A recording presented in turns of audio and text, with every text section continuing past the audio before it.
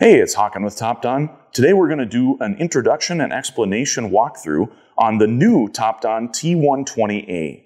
This unit is designed for a variety of battery charging and maintenance functions. We're going to walk you through each of those in just a moment. So we're going to show you just a little bit of the hardware here.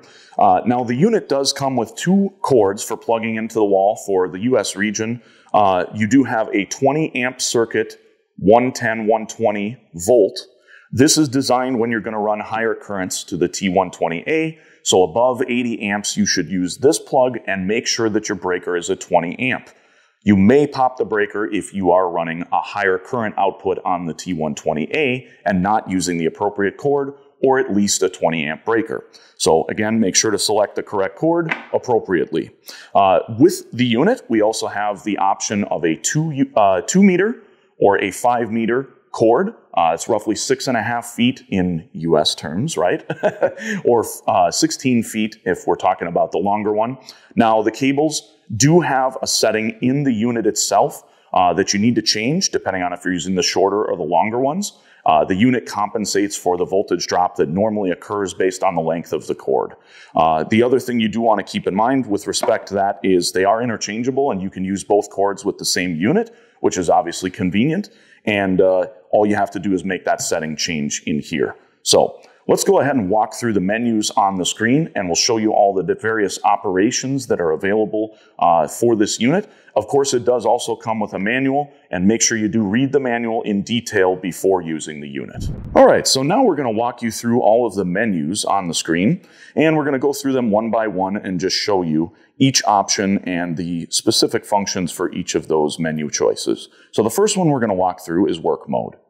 Work mode has a number of different options. There are standard charging modes for different chemistries. So inside lead acid, you will find a setting for both normal and AGM. If we go back out using our little backslash home button, it lets us go back to the root of the menu there.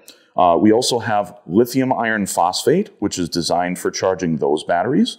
We also have a custom mode. Now, you're going to want to read the manual uh, if you're going to set up custom mode. There are a number of different parameters that you can change. And then the last option, which we're going to demonstrate first, is supply mode. Supply mode is going to be used for programming, uh, coding, relearns, ADAS calibrations, anything that requires a stable voltage supply while performing that operation, typically with the key on engine off, is what we will use supply mode for.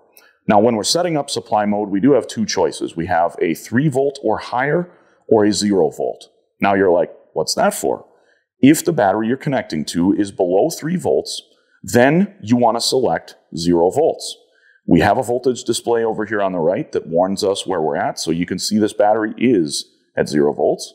So we're going to want to select the 0 volts, or again, below 3 volts would qualify here. And then we're going to hit OK. And then we can set the voltage we want the charger to maintain for as long as we're going to operate the charger. We can also then set our current limit after we hit OK. And we can go up or down all the way up to 120, or we can go way down. We're just going to set it at 90 as we don't need that much current since this is not hooked up to a vehicle currently. We're going to hit OK. And you can see now it's switched on. You can see how many amps are being pushed. If we hit the start stop button, it will shut off. We hit it again, it'll turn back on. So again, Supply mode is going to show us everything live. 13.5 is our output, which is what we set it to. And it'll show us how much current is being pushed to that given battery. And it'll also tell us the on time as well as the power, which is a logging of how much power or watt hours have been pushed into the battery for the duration of the uh, voltage supply mode operation. So now let's go back. We'll hit our start stop button and we'll go back. And now we're going to show you the other menus here. So we just keep hitting back. And you can see we did we pushed a little bit of voltage into this battery, but this battery is uh, very, very dead. so we also have the lead acid mode, which again, we have normal and AGM. So you just want to use for lead acid batteries normal, and any AGM style batteries, you want to use the AGM setting. And that's just for charging, not for voltage supply mode. Same scenario here. If we go back to the lithium iron phosphate, If we hit that, it'll just be a charging setup. Now, with the charging operation for any of these two menus and the custom, you do have a charge rate setting. So this is a slower charge and a faster charge. The slower charge is typically going to be better if you're trying to rehab or recover a battery. And the higher charge rate is if it's a good, healthy battery that's just in a lower state of charge, then you might want to select that. So let's go back out to the main menu. In the main menu, we have language selection. We have date and time, which we can set. We have our version information, which if there are updates, you can always go in here to check and see that your unit is at the latest level. If we continue down the menus, we have a calibration function. The calibration function is used before you put the tool in service. Basically, you're going to hit OK, go into the calibration menu. The calibration menu is going to ask you to connect the two cable ends together and then hit OK. That will calibrate the cables for short detection and all other safety related functions that the tool has built into it. We also have a reset button. So if you want to erase any of the learned settings that are stored in the memory of the unit, you can do that. And then lastly, we have the output line settings. This is specifically used for setting whether you are using the shorter cables or the longer cables. Again, there is a normal voltage drop that occurs when you use a longer cable versus a shorter cable, and the unit has been calibrated and designed to compensate for that when using either of the two lengths. So you just want to make sure this setting is correct. We have the longer cables connected, so we have the correct setting selected.